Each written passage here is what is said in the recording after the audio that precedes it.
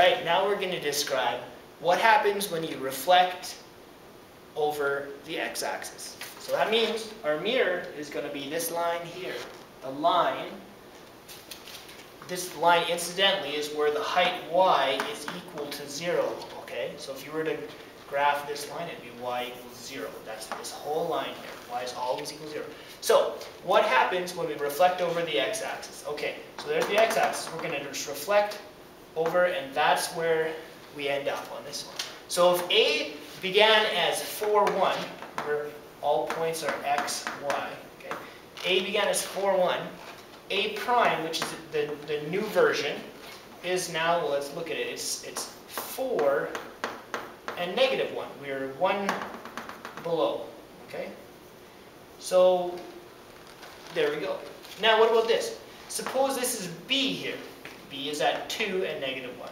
If we reflect over the x-axis, that's where we end up.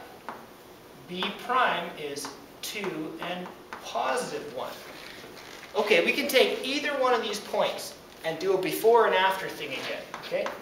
So before, after, okay? And we'll see what happened. What's the change that we can recognize?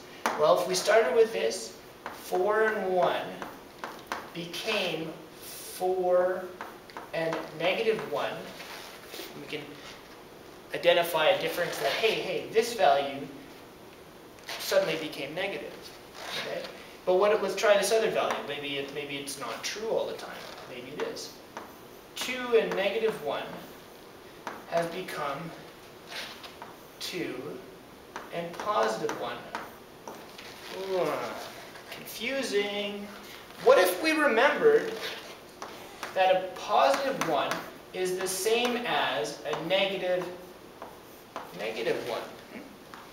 Now let's think about that. If these are the same thing, so I'm going to change this to show a negative negative 1. I'm not trying to make things difficult. The reason I'm doing this is to show that we take, it shows every time, every time, that whatever we have here in the y slot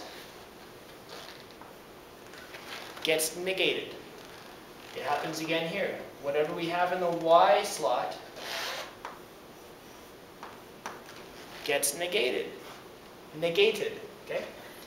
So, and of course we wouldn't write this as a final point. I'm just using that to illustrate that it gets negated.